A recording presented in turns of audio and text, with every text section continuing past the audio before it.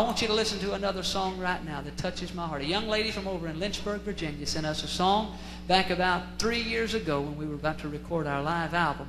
We couldn't record it then, and to be honest with you, we kind of tucked the song away.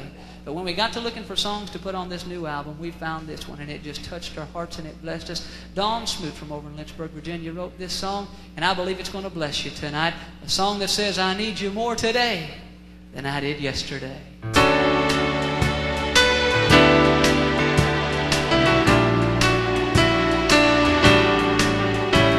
Are decisions I can't make on my own, and there are trials I can't face all alone.